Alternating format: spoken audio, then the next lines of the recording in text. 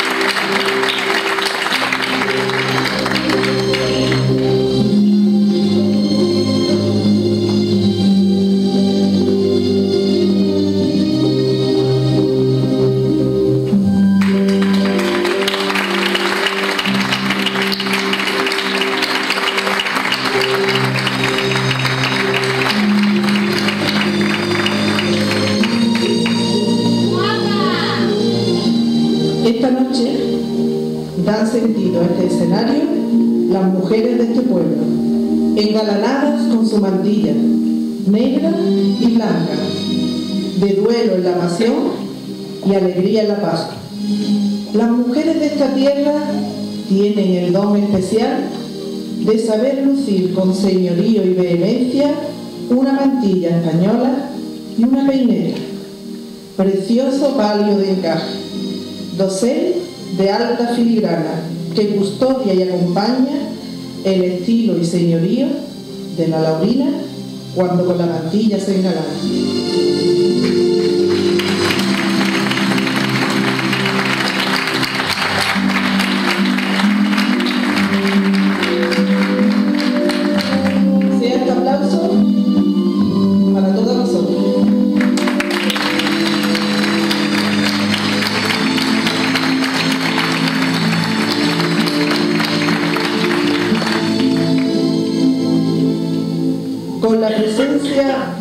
La belleza en su más absoluta contemplación, toma sentido el escenario y este acto en sí. Ahora ya podemos empezar. Y tratándose de empezar, habría que ver por dónde se empieza. Quizás, quizás se deba empezar por saber qué es una mantilla. Una mantilla es una prenda popular, española para más señas, consistente en un elegante tocado femenino del que prende artesanal encaje. Pieza de arte que desde la peina resbala por hombros y espalda de la bella mujer que la lleva puesta. Pero como todo en esta vida, como todo lo que tiene que ver con la tradición, también la mantilla tiene su historia y su parte de leyenda. En lo que todos estamos de acuerdo en que es en que antigua prenda en la mantilla. También estamos de acuerdo en que es exclusivamente femenina. Y puede ser, puede ser que sea uno de los mayores estandartes de la elegancia en la mujer. Y también una de las más bellas tradiciones de nuestra cultura. Prenda antigua en la mantilla.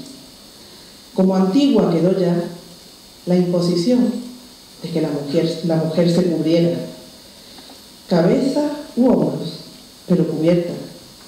Las mujeres, se ha dicho durante mucho tiempo, deben ir cubiertas.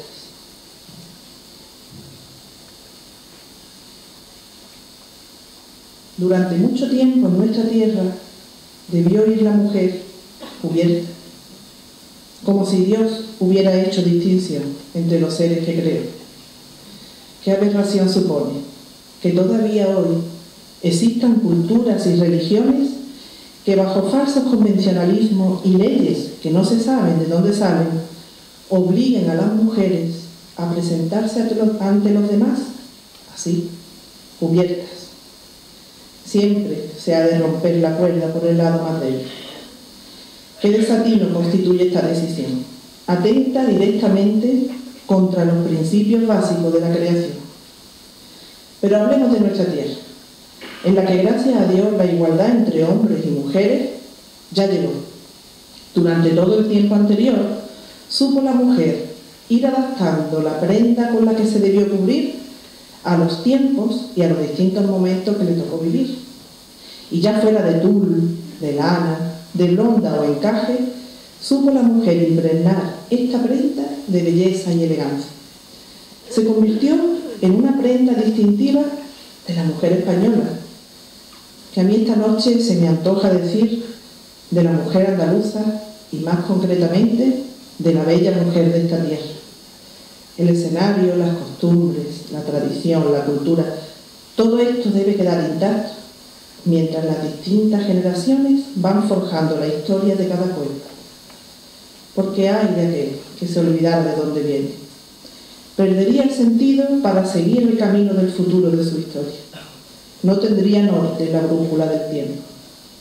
Es por ello que debemos defender con vehemencia y con honor aquello que nos identifica que nos hace ser lo que somos y que forma parte de nuestra historia.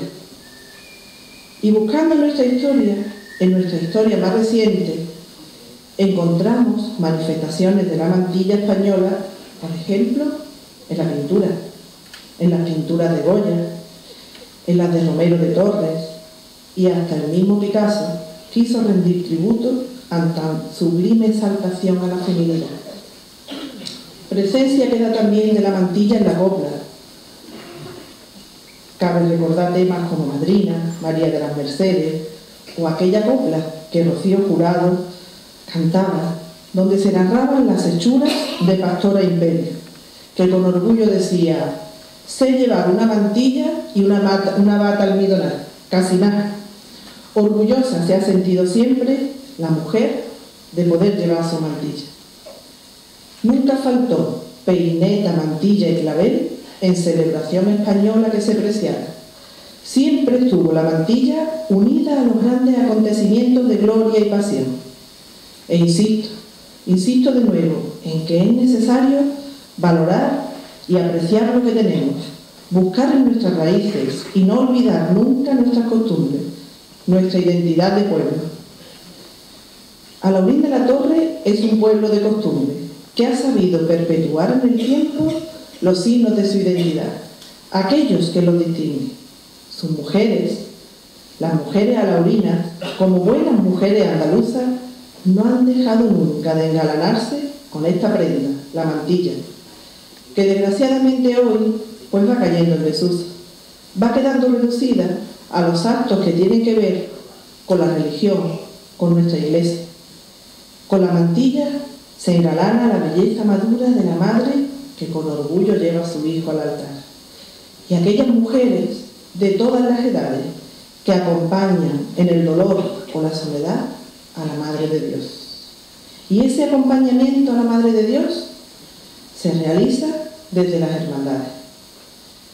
En nuestras hermandades, en todas, como en la sociedad en general, ha sabido la mujer ganarse su lugar sin abandonar los puestos que históricamente se le asignaron, albaceas, camareras, acompañantes de la Virgen, sin abandonar estos puestos, se ha ido produciendo la transformación desde dentro, como en la misma sociedad. Como en la misma sociedad la mujer ha hecho la revolución en silencio, sin fijar sus objetivos en grandes reconocimientos, ganándose el respeto con su trabajo, demostrando su valía, y haciendo realidad que lo realmente importante es la persona, hombres y mujeres, mujeres y hombres. En nuestras hermandades la mujer ha ido asumiendo responsabilidades de secretaría, tesorería, fiscal y también, como no, de hermana mayor. En la actualidad, la mujer en la hermandad está capacitada, como en la sociedad, para poder asumir cualquier responsabilidad. Y ha demostrado con su ejemplo que no hay puesto pequeño, que todos son importantes y necesarios, que cualquier aportación en una hermandad, por grande o pequeña que sea, cualquier aportación cuenta, que se hace hermandad cuando en comunión se presenta el trabajo, el esfuerzo y la voluntad de todos y cada uno de los que ella, de ella forman parte. Pues fruto del trabajo bien hecho de las hermandades de Alaurín, empieza en perfecta armonía aquí, en este pueblo, la Semana Mayor. El olor a cera, el olor a incienso, produce una bonita combinación con ese otro olor que trae la brisa suave que Jabalcusa deja llegar al pueblo, llegando la primavera. Una brisa que se transforma en tenues caricias, llegada desde esta sierra, impregnada del aroma a tomillo y romero que crece junto a los que por este tiempo todavía son pinares frescos.